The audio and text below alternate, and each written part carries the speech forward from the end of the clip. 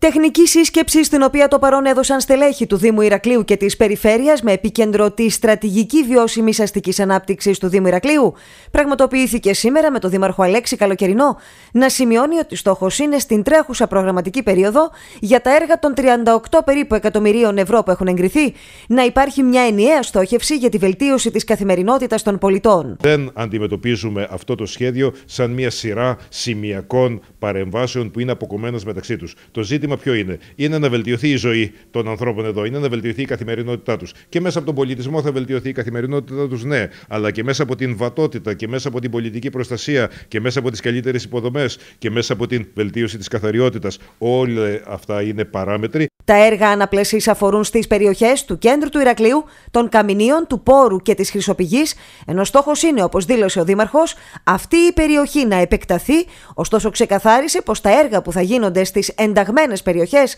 θα πρέπει να είναι συμβατά με τα έργα που θα γίνονται και στις περιοχές εκτός παρέμβασης. Έχουμε μια ευκαιρία να ανακτήσουμε έδαφος και κάποια στιγμή να βρεθούμε και μπροστά, γιατί αυτή πρέπει να είναι και η φιλοδοξία του Ηρακλείου. Το Ηράκλειο θα πρέπει ε, όχι απλώς να προσπαθεί να καλύψει ελλείψεις, αλλά από ένα σημείο και μετά να βγει μπροστά και ε,